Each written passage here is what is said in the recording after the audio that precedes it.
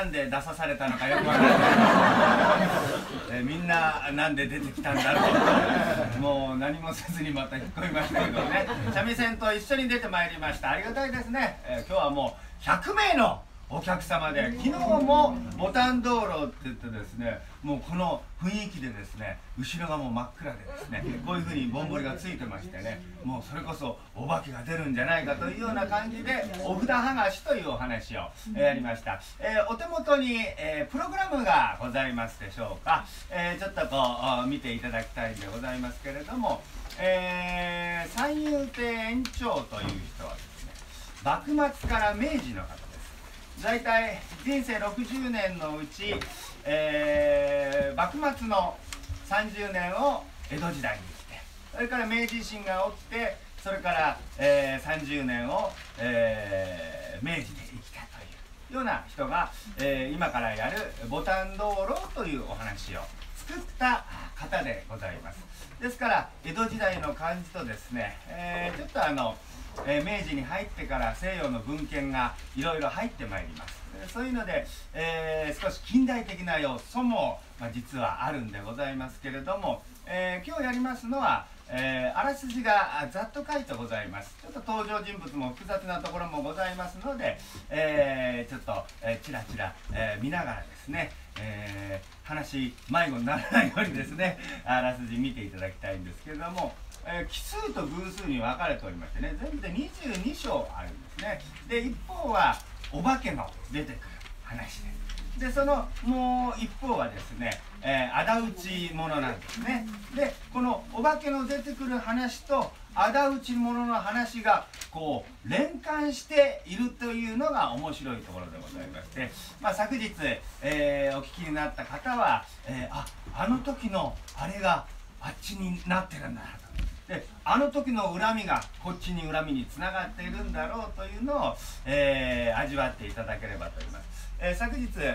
えー、トークがありまして、えコリンさんの方からね、えこの三味線というのはあの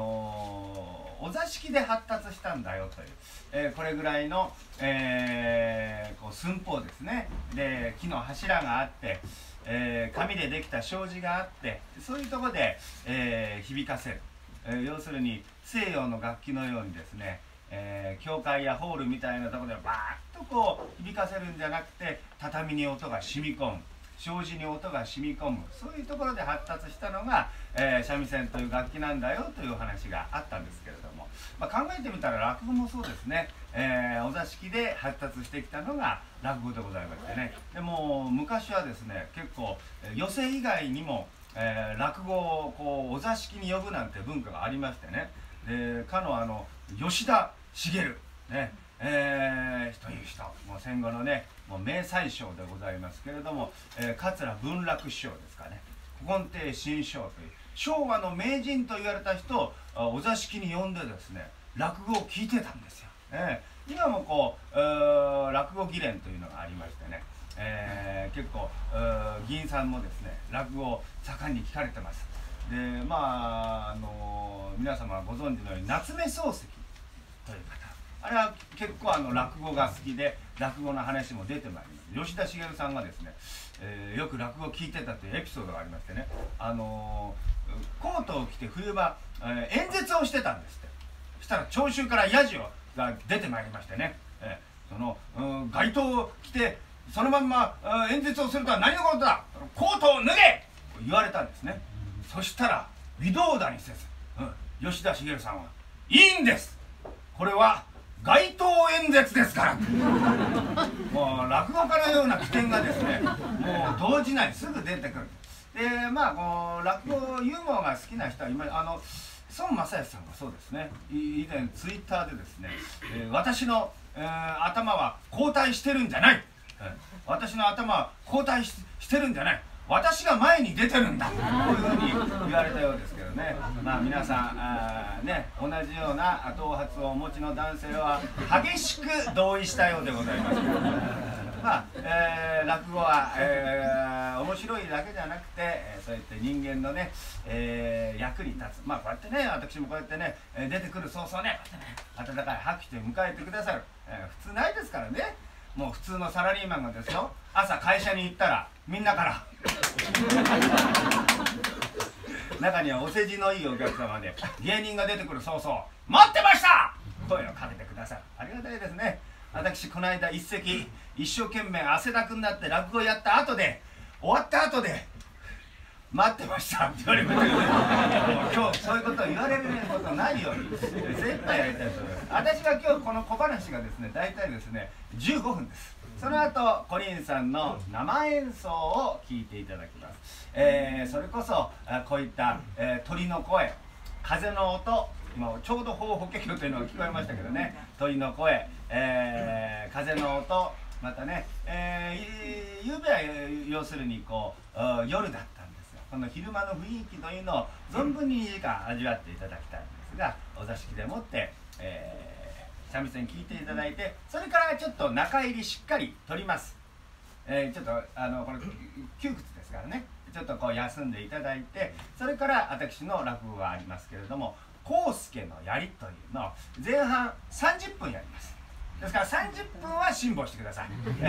30分辛抱したら5分10分休憩しますんでね。それ後で、えー、続きのですね後編をや、えー、大体10分から15分やります。えー、ですからこの康介の槍は45分ぐらい、まあ、2時間、えー、すぐ経ってしまいますのでどうかお楽しみいただきたいんですけどね、えー、まあ、家庭の主婦だってそうですよね。毎日炊事洗濯頑張ったってねみんなから拍手で迎えられたり待ってましたなんて声がかかることありません、まあ、私の母親もそうでしたね。私の実家が岡山県。でございます岡山。この中であの出身が岡山の方ですとか、えー、お仕事で行かれた方旅行で行かれた方いらっしゃいますか？あいらっしゃいますね、えー、私の母親もおります。でうちの母親ってのは僕に顔がそっくりだったんですね。この顔に。でも最近ちょっとあの変わってきましてね。うちの母親ってのはすごい太っちゃったんです。でいい年なんでねダイエットした方がいいですよってんでお医者様に勧められましたのが乗馬でございましてね。あの馬ってのは大変に体にいいんだそうでございます。ペットセラピーとかアニマルセラピーなんて言葉がございましてね動物に触れ合うってのは大変に体がいいんだそうです。あとこの姿勢がこう腰をこう立ててこう乗りますんでね、えー、大変この足腰にもいいってんで。私の母親弱い60にしまして乗馬を始めますね。で自分が馬に乗ってるところをですね携帯の写メで撮って送ってきてくれたんです。で私の母親ってのは僕に顔がそっくりで太ってますからね。ですからまあいわば目は一重顎が二重で腹が見えみたいな。趣味がございます、え私の母親の趣味がダイエット。いろんなダイエットを趣味にしていらっしゃる方。私の母親も趣味がダイエットでございましてね。特技がリバウンドなんですけどね。あの冬場なんかね皆さんはねお召し物、えー、新しいデパートやなんか行ってね、えー、お買いになると思います。お求めになると思いますけれどもまあ私の母親はあ秋物冬物買わなくていいんです。ええ、ヒートテック買わなくてもねミートテックがあります。送られてきたですね。写メを見てですねあれ？これどっかで見たことあるな何かで見たことあるなと思ってよーく考えたらねあれ分かりました。歴史の教科書に出てくる初代モンゴル帝国皇帝。チンギス・ハーンにそっくりなんですね。さっそうと馬に乗ってますからね。これはあの中国大陸を制覇した初代モンゴル帝国皇帝だなと思いますね。ということはですよ。私はその息子ですから2代目皇帝ということでございますね。ですからまあ東京や大阪は無理だとしても地元岡山県を中中心とした中国地方ぐらいは制覇できるんじゃないかと思っていますけど待ってました。お医者様もおっしゃることは確かですね。すぐに痩せました。馬が。私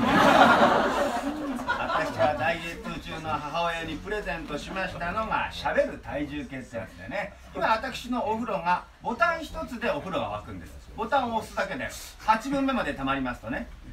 間もなくお風呂が沸きます。教えてくれるんです。で設定した温度量までたまりますとね「てんてんてんてんてん」お風呂が沸きました。教えてくれるんで優しい声でね。今うなずいてらっしゃる方は私と同じお風呂のメーカーこの間実家帰ったんですよ。そしたらねうちのあ母親が、えー、体重計の上に乗って思いっきりお腹をへっこませようとしてる。